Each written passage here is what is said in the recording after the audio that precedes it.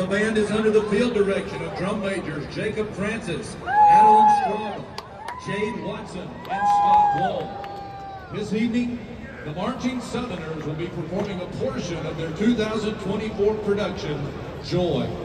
The show will feature trumpet soloist Sam Eastet.